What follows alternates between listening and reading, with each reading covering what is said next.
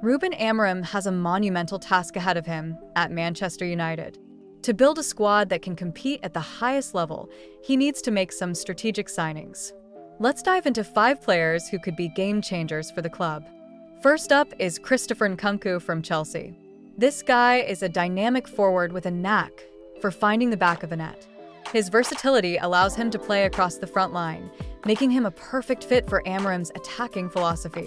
Nkunku's pace and dribbling skills can stretch defenses, creating space for teammates. Imagine him linking up with Marcus Rashford or Bruno Fernandes. The attacking potential is mouth-watering. Next, we have Victor Gyökeres from Sporting CP.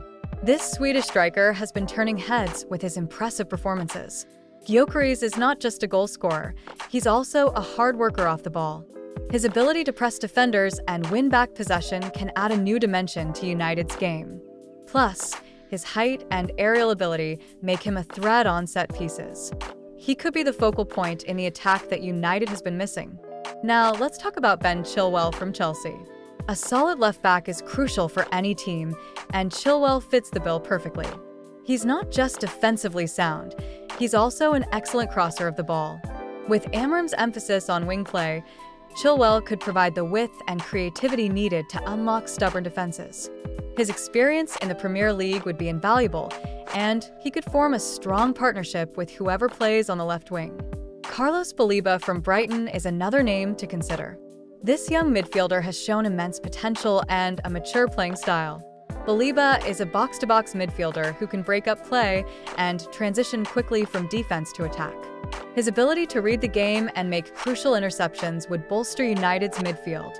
With players like Case Casemiro and Bruno Fernandes around him, Baleba could thrive and become a key player for years to come.